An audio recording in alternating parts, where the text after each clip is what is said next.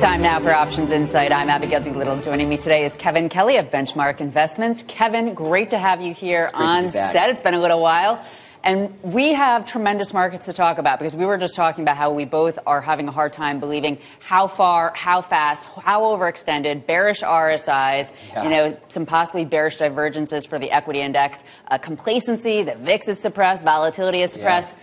Talk to us about what you're seeing here. Yeah, what we're seeing actually is a lot more people go into the call market as well. We're seeing open interest there actually kind of pick up, right? Wow, so, so bull, so bullish bets, yeah. And, and, and one of the, I looked at two really sort of safe haven markets, especially today, to see where implied volatilities are, and that's the utility space as well as the real estate space, and it's significantly lower, 40% less implied volatility than the overall market, right? So you're even seeing that in the safe havens, not much volatility coming. And so that's actually signaling that the Fed is still going to stay accommodative, right? And so people are going into the safe haven markets, even though they're trading at, you know, historic highs, right? Think about the utilities trading at 25 times earnings, 28 times earnings. That's, that's pretty high. so is this space. all about the Fed then? Because when we think about the coronavirus, yeah. we still don't know the true uh, impact, economic impact of that uh, tragedy. Yeah. We don't know really what the impact will be on the global economy. Uh, and yet we have stocks, risk assets going back full steam again. Is that the Fed? And can the Fed, uh, do they have that magic bullet? Yeah, it's, a, it's absolutely the Fed because people think economic numbers are going to be weak and also look at yields across the world, right?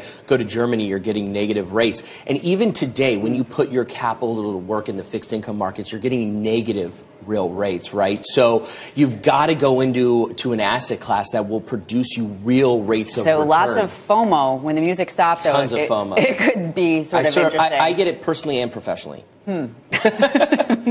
we'll leave that there. We'll leave that there. But turning to your trade, Crown Castle. Yeah, a great way to pre- uh, prevent FOMO in the 5G market is actually going into Crown Castle because they're going to benefit from the build out that's going to happen from the Sprint T-Mobile deal that just got just got approved, as well as Dish having spent tons of money. So what you want to do is you want to participate synthetic long. So sell a put right around the 160 level, buy a call for 160, and you've got you're, you're, actually getting paid to do that. So it's just like buying the stock, but you've got a limited upside, and you're only spending a little. And here's why: today we have about seven billion devices connected to the internet.